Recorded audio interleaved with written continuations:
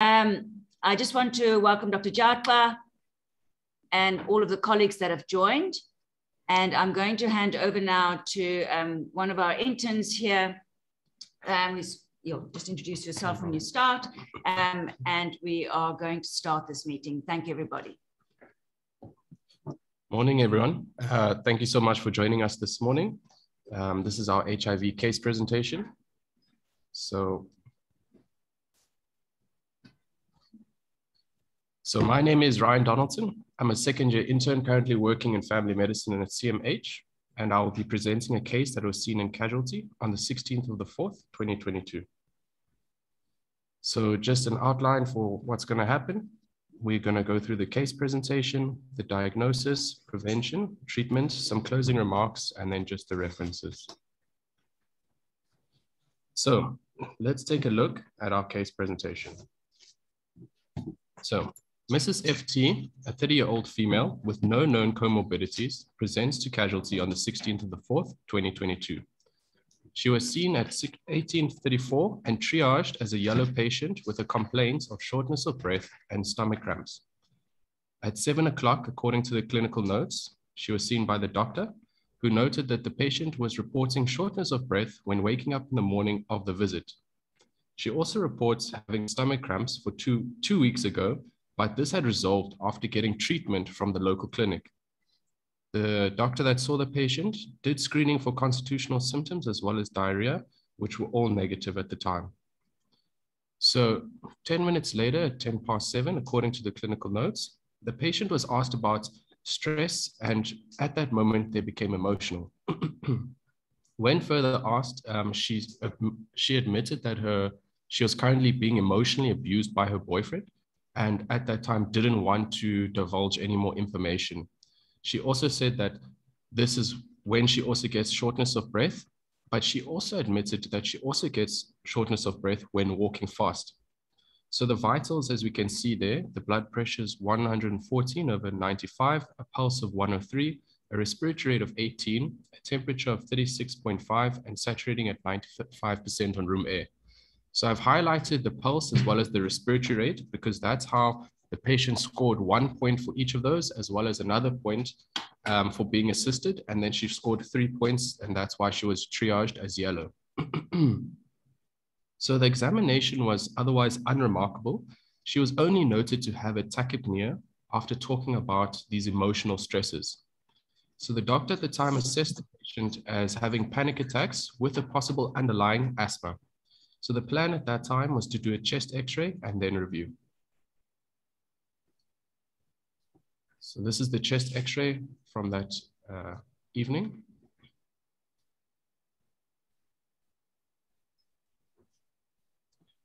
So the chest x-ray was reviewed as homogeneous infiltrates bilaterally. And the assessment was a lower respiratory tract infection versus a COVID. So the plan was to do a COVID PCR swab, the patient to get the results via SMS and then to discharge the patient on antibiotics, and it was noted this, that the psychologist details were given to the patient. So, Mrs. FT, the same patient, 30 year old female, no known comorbidities, she presented to casualty then again on the 23rd of the 4th, 2022. This is around one week later. She was seen at 4.53 in the morning and triaged as an orange patient, complaining of shortness of breath, getting tired easily when walking a distance, as well as a left-sided chest pain that radiates down the left arm. She was seen two minutes later by the doctor, according to the clinical notes. It was noted that the patient had received the antibiotics the week before and which the, under which the symptoms improved. Um, and now the patient is coming with a two-day history of shortness of breath, which is worse by exertion.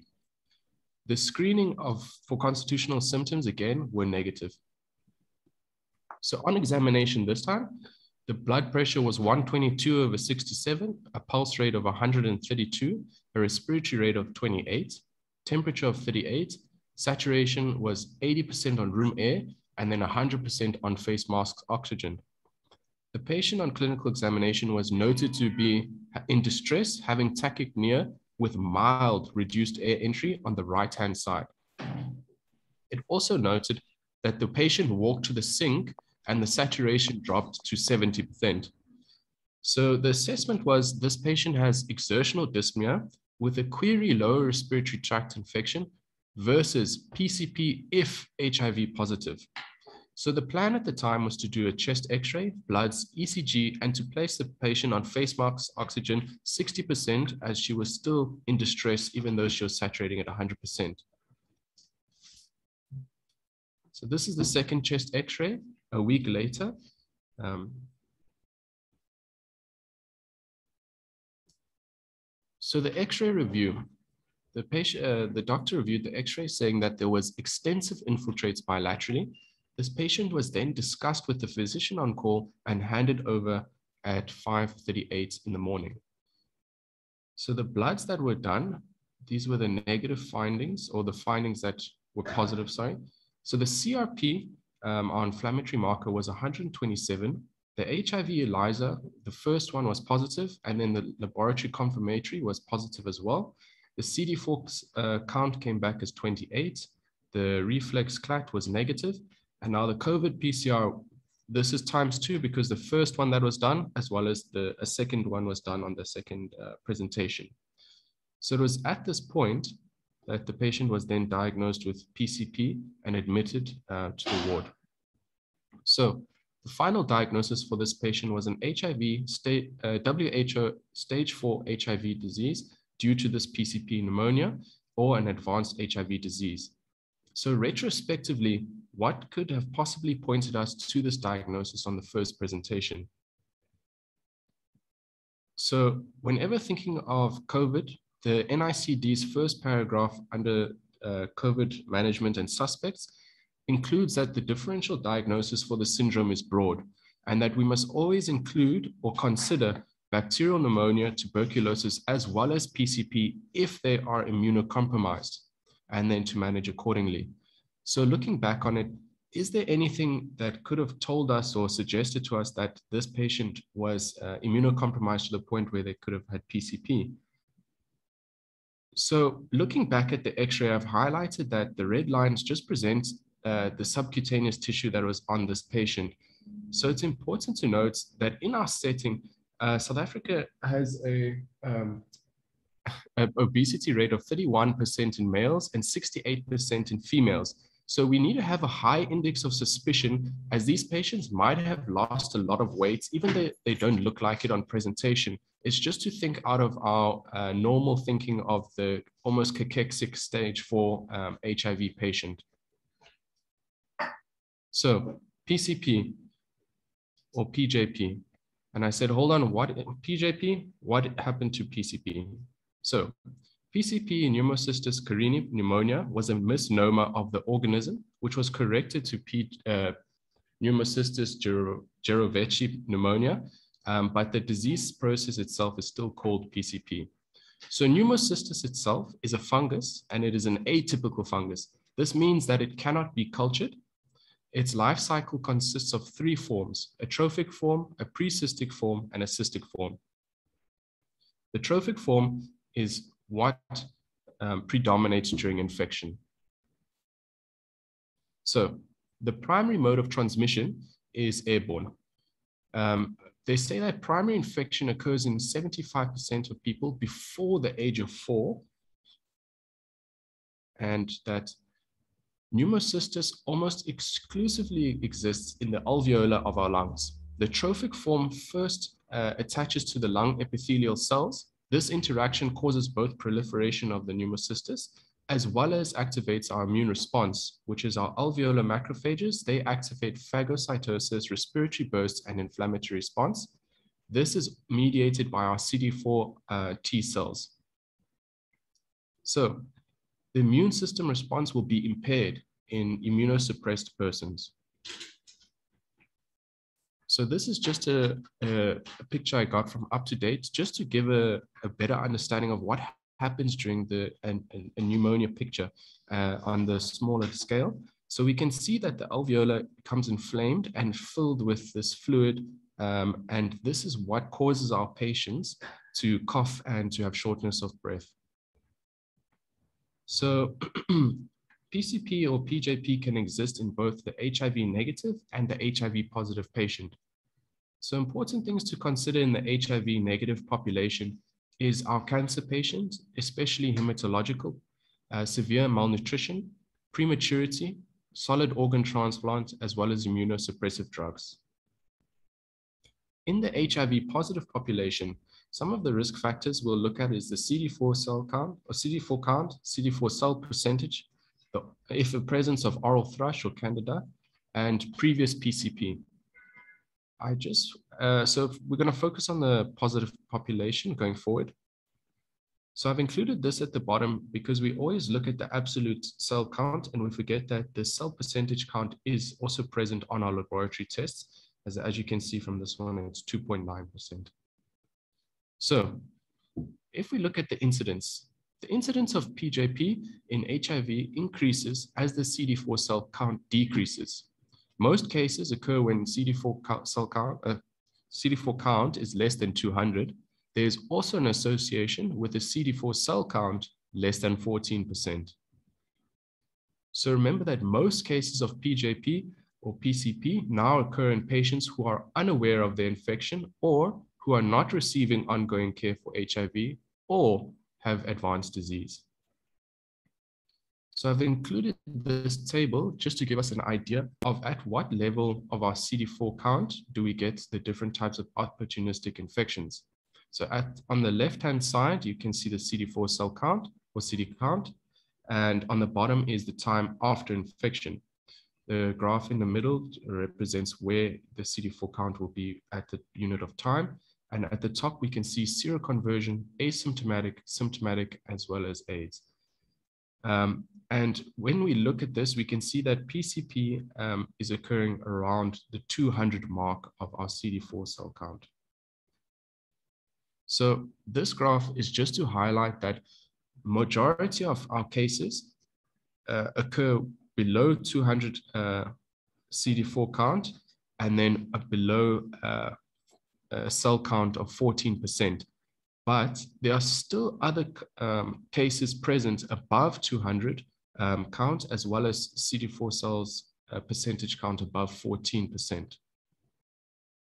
So the clinical manifestations of PJP or PCP usually presents subacutely with progressive dyspnea and a dry cough with symptom duration less than 12 weeks. So the, the most common symptoms is generally a gradual onset, a fever, a cough, and a progressive dyspnea on exertion, as well as oxygen desaturation at rest or with exercise. When looking on chest x-ray, it depends on the severity. X-ray findings can range from completely normal ground glass appearance uh, bilaterally to severe cystic infiltrates and even a pneumothorax. So ground glass appearance, we must always also remember COVID. So the diagnosis in our uh, setting is normally clinical. However, there are laboratory examinations and investigations that we can do to aid our diagnosis. But in our resource setting, they are not really that, uh, not really indicated. So diagnosis can be aided by either visualizing the pathogen, this would be PCP or pneumocystis, via immunofluorescence staining, measure, measuring the presence and or quantity of DNA present of the pathogen, measuring the beta uh, D-glucan levels in the serum, as well as measuring serum LDH levels, or we can use improved imaging such as high resolution CT scans. So the PCR or measuring the presence of DNA and quantifying it does not differentiate between colonization and infection. And the values for the quantity have not yet been confirmed. So measuring serum B beta D glucan levels has a, a sensitivity of 92%, but a specificity of 78% in the HIV positive population, as well as it is quite expensive and is also affected by other organisms. So what specimens can we send in for stains? So our first specimen that we can send in is an induced sputum but it has a sensitivity of less than 50% or more than 90%. Our second uh, specimen is a, bronchi a bronchoalveolar lavage. which has a sensitivity of 90% to 99%. And then our third specimen is a biopsy. This can be bronchotracheal or a lung biopsy, but also is associated with other uh, risk factors with doing that. And we can see that sensitivity is around 95 to 100% for both of those. What's important to remember is the induced sputum at, uh, for PCP is not the same as a spontaneous sputum that is uh, that we use for GeneXperts in TB. So the sensitivity and specificity for respiratory samples for PCP depend on the stain being used, the experience of the microbiologist or the pathologist, the pathogen load, and the specimen quality. So when we look at a differential diagnosis for PCP or PJP, TB, non-tuberculosis mycobacterium, toxoplasmosis, CMV, COVID, and Kaposi sarcoma amongst some of the common. So if we have to take a look at differentiating between three of our common differential opportunistic infections. So according to the clinical guidelines for hospitalized adults in advanced HIV disease, they look at TB, bacterial pneumonia, and PJP or PCP. So they split it up into the features, meaning the symptom duration, the hypoxia, um, the presence of a hypoxia, the HB, the white cell count, and chest X-ray. So I've noted on in red there the things that help differentiate PC, PCP um, is a duration less than 12 weeks, um, and that hypoxia is common in PCP, as well as the chest uh, X-ray will show infil interstitial infiltrates. It's important to know that also in COVID, you will also have hypoxia as well as these interstitial infiltrates. So what's also important is, in fact, approximately 13 to 18% of patients with documented PCP have another concurrent cause of the pulmonary dysfunction, such as TB, Kaposi sarcoma, or a bacterial pneumonia. So how do we treat it? Our drug of choice is trimethoprim sulfamethoxazole. Um, and in, in our setting, there are, well, there are two drug choices or two uh, variants. It's a single strength and a double strength. For us, we have a single strength tablet in our public health setting. And according to our EML guidelines, you can uh, give the dosage according to the weight. So the single strength would be our um, tablet on the left, so according to the weights on the left, and you give those tablets six hourly for three weeks. Another way of thinking about it is you can dose it at uh, one tablet per four kilograms with a maximum um, of 16 tablets, and those are given in divided doses, six to eight hourly for the duration of 21 days. So remember adjusting your doses in renal impairment. So this table just gives us an idea uh, of the single strength dose. So if your EGFR is more than 30%, uh, 30, then there's no need to adjust. If it's between 15 to 30, you reduce the dose by 50%, 50%. And if lower than 15, you can reduce the dose to 75%. So adverse reactions are hypersensitivity reactions, Clostridium difficile infection, drug-induced liver injury, hematological effects, hyperkalemia, hypoglycemia, as well as hyponatremia. So we're going to focus on the hypersensitivity reactions, which are, are to Stevens-Johnson syndrome, as well as toxic epidermal necrolysis. So it is important to know that any hypersensitivity reaction to any sulfur drug, trimethoprim, or any component of the formulation is a contraindication to its use. So Our alternative uh, treatments for PCP, uh, dapsone 100 milligrams daily, plus the trimethoprim component, if they're not having a hypersensitive reaction, um, and then uh, primaquine 30 milligrams, clindamycin 450 milligrams six hourly or 608 hourly, and then atovaquone uh, 750 milligrams uh, 12 hourly with food. So this is our alternative treatment and what is the role for steroids in PCP? So in moderate to severe cases that meet the criteria of a partial pressure of oxygen at less than 70 milligrams of mercury or alveolar arterial uh, different gradients um, of more than uh, 35 milli, uh, millimeters of mercury.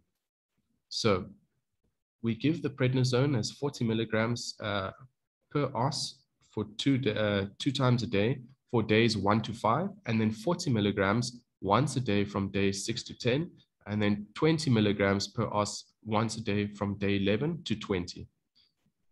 It is very important to start the uh, steroids as soon as possible or within 72 hours of initiating the PCP treatment.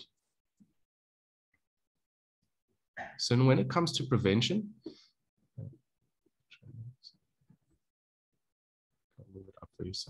When it comes to prevention, we look at exposure prevention and disease prevention. Exposure prevention is a question of isolation um, because of the airborne transmission, but there is actually no standard uh, data that, there's no data that supports it as a standardized practice. Um, and then in disease prevention, who should get prophylaxis or uh, prevention is a CD4 count less than 200 or CD4 cell count percentage less than 14%. And then what is our drug of choice? Again, it is trimethoprim and it's our single strength tablet, one tablet per day. So prophylaxis continues until your CD4 cell count, uh, CD4 count is more than 200, or you can consider with a CD4 count between 100 and 200 in which they are virologically suppressed from three to six months. So why do opportunistic infections still occur? So some of the reasons we can see is that there's a late diagnosis or missed presentations, suboptimal adherence to uh, ARVs or prophylaxis, um, delayed identification of ARVs, uh, ARV failure, sorry, immunological disconnect, and functional immune reconstitution. So thank you very much all for your time and please feel free to ask any questions. These are some of my references and this is the SlidesGo that I used to create this presentation. Thank you.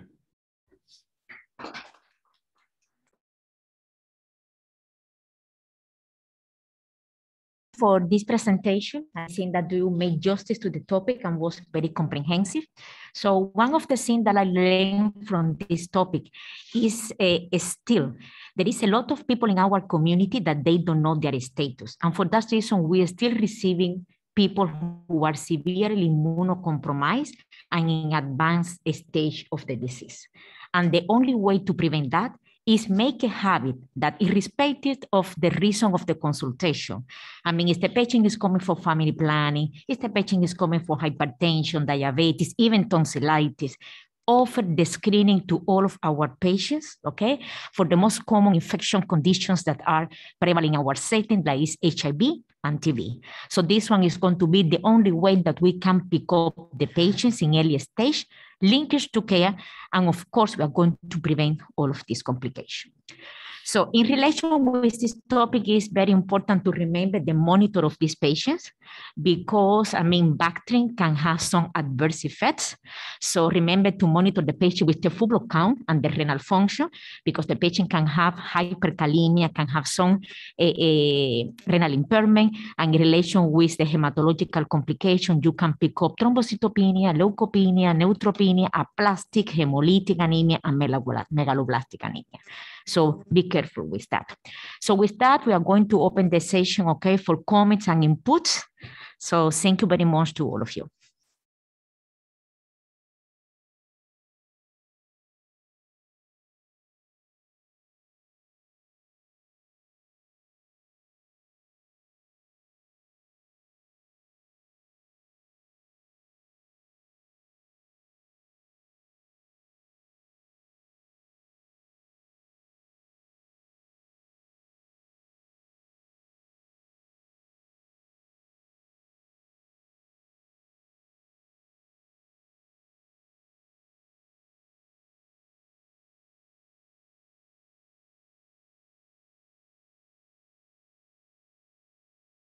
Um, and there, and there are tests that you can do to aid the diagnosis. In our setting here, I just wanted to know which ones, because you talked about biopsies and that. Is that all available? Which ones? Yeah. Yeah, um, I do know that we do have a beta glucan serum uh, measurement at, at our facility, but it's quite costly. Um, oh, it's, it's, sorry, I'm, I'm getting, we don't do serum beta, beta glucans. Um, and then, so let's, let's hand it over to Dr. Adene.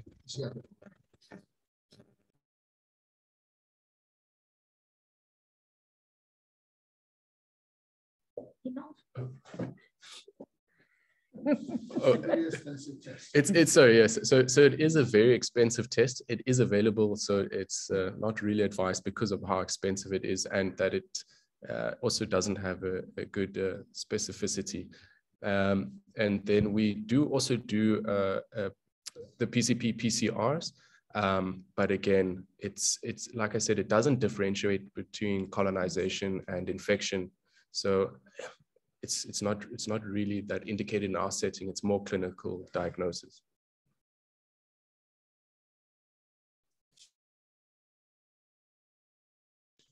In a symptomatic in a, in a symptomatic patient, the patient that comes in acutely distressed and meets the triad for PJP, the patient has progressive or exertional dyspnea, uh, coughing, having fever, with evidence of immunosuppression and again, low CD4 can be low two, right? PJP is probably number one that should come to our mind right away. And the recommendation is if you think of PJP, please start treatment. Um, the results then comes back later and you can then adjust your, your management mm. of the patient thereafter. Um, is quite very expensive. Previously, it used to be a sent out uh, investigation, but I'm glad it's available. But again, um, if any available influence from the oropharynx of the patient will probably be our first choice. Uh, PCR, irrespective of whether it doesn't differentiate. If somebody is acutely healed, if PCR is positive, that was that will be in keeping with okay. our diagnosis of of PJP. But coming back to the first question you asked, you know, the patient came in with just a brief moment of shortness of breath that occurred in the morning, and the vitals similarly were stable on hmm. arrival. Mm. And that was still during the period we had few cases of uh, COVID. So readily, the without history of immunosuppression on arrival, I'm sure most likely eight out of 10 doctors will have thought of COVID. Mm. And if the patient did not meet criteria for severe uh, COVID, then the patient gets swabbed and sent back home on antibiotics. But again, we had prepared, uh, we had prepared a, a, more like a safety net for our patients in which patients are given uh, a take-home uh, information, patient information sheets in terms of whether the condition of the patient is deteriorating or worsening, the patient should then represent back to the facility. Perhaps that could be the reason why the patient came back. And at its second, even the initial... ndifuna uyifaka egaraji phinde ndiphinde ndiqonda uba indlela emosha ngayo iyatyala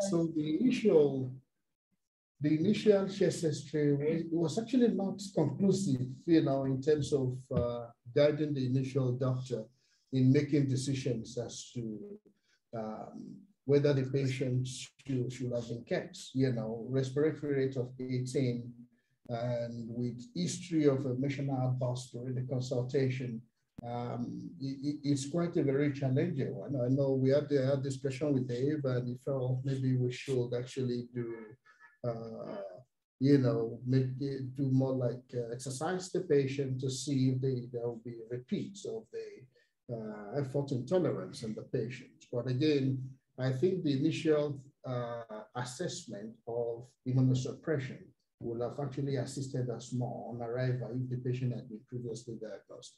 But again, they, if we look at the first uh, COVID guideline, HIV test is actually recommended because they, you know, you do not want to miss, uh, uh, you know, respiratory infections uh, in patients with HIV in this category of patients. But by and large, I think it's an opportunity for us to learn and improve our practice. Thank you.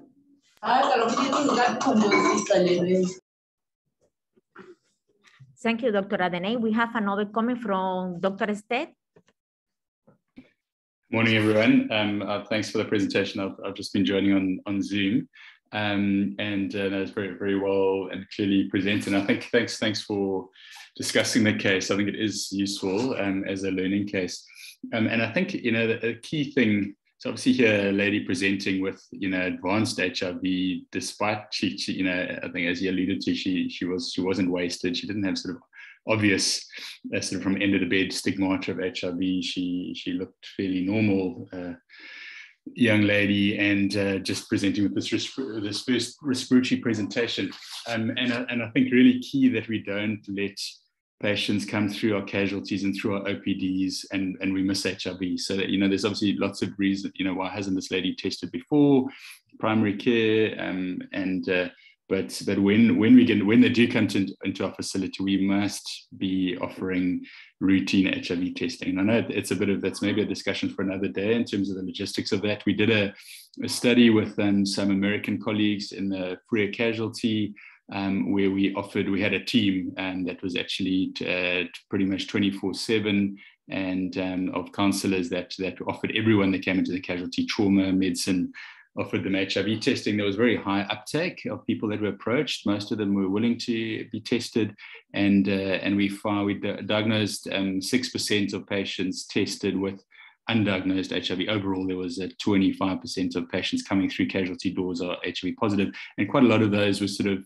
young males with trauma, say, you know, not coming in with a medical complaint at all. Obviously, the, the pickup in medical complaints as much was was higher than the trauma patients. But, um, basically, just making the point that there's definitely room to to try and catch, you know, HIVs that come through come through our doors, um, and that you know, an HIV diagnosis can completely change the, you know, the the, the, direction of the workup and the and the and the differential, which which you know this case demonstrated. So it was a pity that was missed the first. Unfortunately, you know she had a good outcome. So I met her on the on the admission. With the second presentation, we diagnosed the PCP, um, and uh, and she she fortunately responded well to cotrimoxazole and prednisone. Pneumocystis, we, we a lot of people are aware that you know it actually does have quite a high mortality, especially when they present late, and and unfortunately we don't uh, ventilate them in ICU because of poor outcomes. We've occasionally sort of accidentally ventilated the PCP and they really don't do well. Um, and they, they usually eventually sort of crash on ventilators. So, so their best prognosis is if they get diagnosed early. Um, uh, I mean, ideally prevented. Uh, that they don't, we don't let their CD4s drop low because we get them onto ARVs and we get them onto uh, prophylaxis where appropriate. Um, and uh, you know the whole 90 90 90 targets would would pretty much eradicate pneumocystis in our context. Um, but but at least the ones that do develop pneumocystis that there's a high index of suspicion diagnosed early put onto treatment um, and then they, they should do well.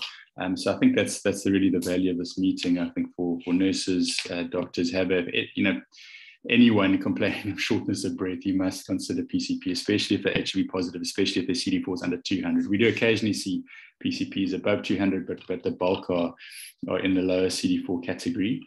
Um, sorry, I, I, wrote down a few points. I hope you're okay if I carry on. Um, that so so I mean the the you know obviously it's you know it's easy to to kind of 2020 uh, retrospective vision is is 2020 um, but if you're making psychosomatic diagnosis of a of panic attacks it's always a diagnosis of exclusion you must exclude the organic I think the first X-ray was quite clearly ground glass. I think doctors are sometimes not good at picking up ground glass. We're better at sort of seeing things, you know, nodules, you know, opacities, but um, but actually you need to. I think doctors need to be more sensitive to looking at a background pattern that is abnormal. You know, stepping back from an X-ray, this, this is clearly abnormal. One of the early signs is you lose vascular markings, um, and uh, and this is clearly just an X-ray that just looks the background looks abnormal, which is it's it's actually a sort of textbook ground glass X-ray. Um, and, and in the, I think what Nels, uh, uh, Vincent was alluding to was quite a useful trick, especially in of outpatients where maybe someone's got some mild shortness of breath.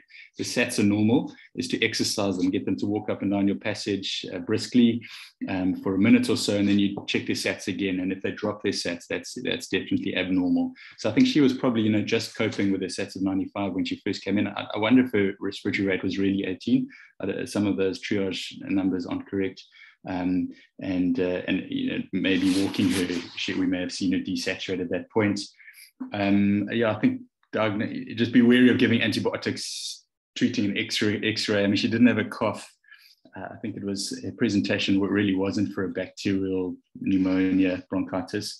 Um, and yeah, and those those are my main points. So we, we did so obviously we've seen a, a, you know hundreds of COVID X-rays over the last waves. And the COVID, it, it can be ground glass. It's actually different to the PCP, and the PCP is a more diffuse ground glass like this one. It, it kind of seems to spare the apices. It's actually just because there's less lung up in the apices. Um, it's fairly diffuse, where the COVID ground glass tended to be more peripheral and basal. But there, there's a whole variation. So, I mean, you can't put your head on a block, but we, we definitely, there's kind of a, there's a more typical COVID ground glass and there's a more typical PCP ground glass. Um, and, and just in terms of the diagnostics, so, so for most cases, I mean, obviously in medicine, we admitting the sicker ones and treating. For most, we don't send diagnostics and that a, that a typical clinical radiological picture is enough. And we definitely have a low threshold to treat. Um, and, uh, and, and most will respond to the Bactrim and the steroids.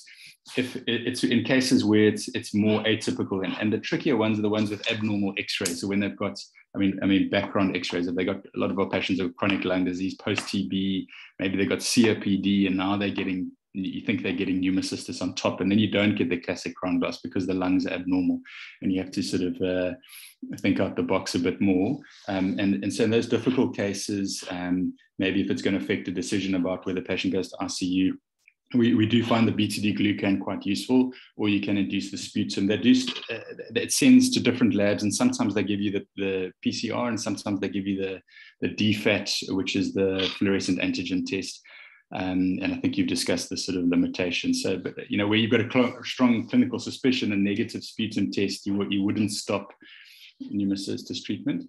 Um, but if it's uh, yeah, where, where you've got, um, you know, if you've got diagnostic doubts and maybe the patient's having a bad reaction to the Bactrim and you're really wondering, you know, am I helping or harming? Sometimes these tests can can help sort of uh, rule in or rule out to some degree, but but it's not not routine. So I think in most cases, uh, low threshold for trial of therapy um, is is the way to go, and most most respond. Thanks. I think I'll stop there. Hope I haven't used up too much time. Thank you very much, Dr. Estet. Uh, I will really appreciate your input. If there is any other comments or questions.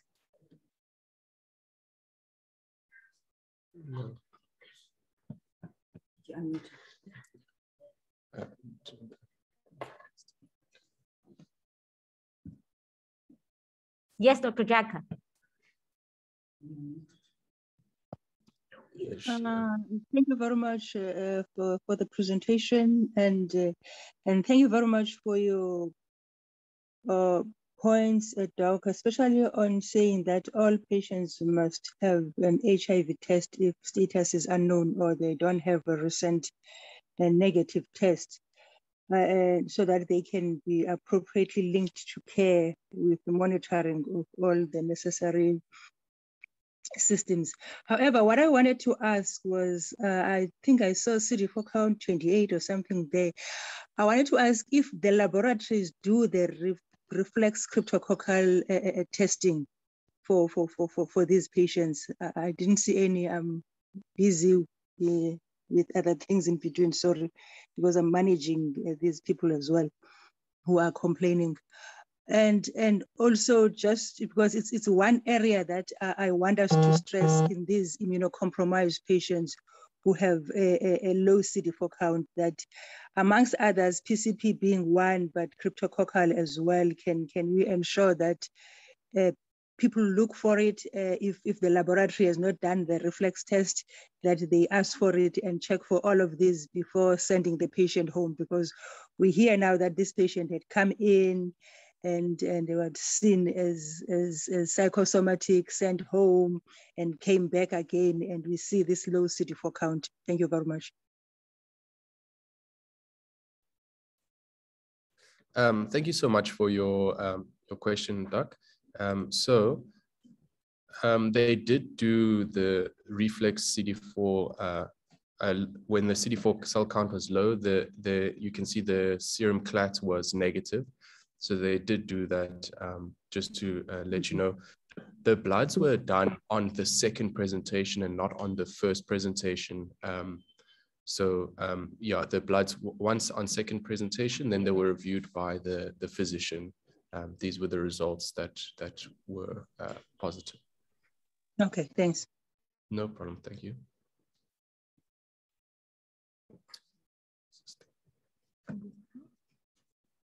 You.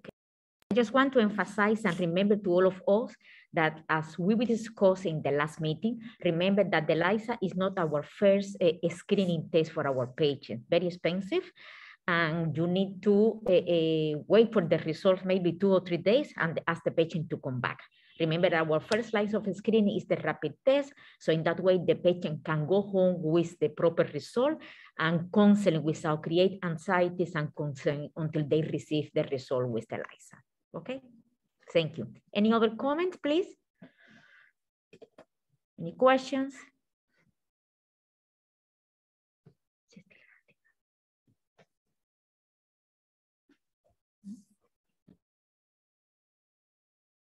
people are thinking, just a quick reminder for CPD points, you would need to put your information in the chat. Make sure you add your email address.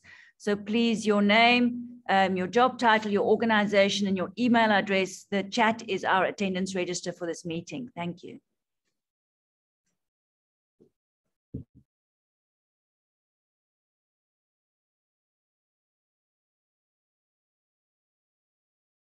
Um, yeah, it looks like there's no more questions. Um, please make sure you put your information in the chat. Um, Dr. Jatla, are you happy that we close or do you have any last comments? No, thank you very much, uh, uh, Madeline and team. It was a very good presentation. Uh, there, uh, there are no comments from my side. We may close off. Thanks. Thank you very much. I'm going to leave the meeting open for a couple of minutes just for people to make sure they've got their information in the chat and make sure you have put your email address in um, and then we'll officially, um, but the meeting has ended now. Thank you very much for everybody that attended. Thank you very much for Dr. Donaldson and Dr. Yusimi for preparing this presentation.